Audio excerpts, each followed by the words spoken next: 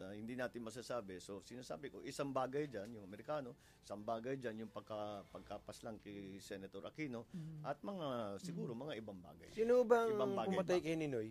Hanggang ngayon, hindi nga natin eh, natitiyak. Sina, ah, hanggang ngayon, wala tayong, may- meron mga naakusa na ikinulong.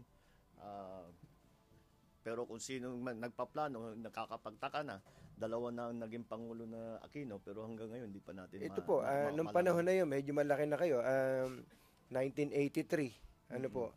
Ah, sagutin niyo po kami diretso. Hindi po ba ang ama niyo ang nag-utos na Hindi. ipapatay si Hindi. ah, Senador Ninoy Aquino? Hindi, hindi na hindi ah, alam alam niyo yung yung aking ama, alam naman ah, alam naman hindi ganun nang gawain niya eh.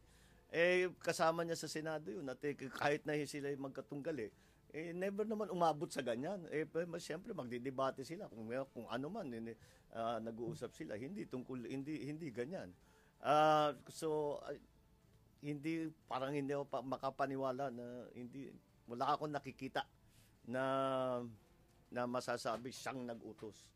Tinanong niyo, tinanong niyo po ba siya o napag-usapan ba ito sa pamilya nung Nung nagkakagulo? During that, those Hindi, times. actually Exile. yung yung nung, nung nag- nakuha namin yung balita, nagla Sunday lunch, Sunday yun eh.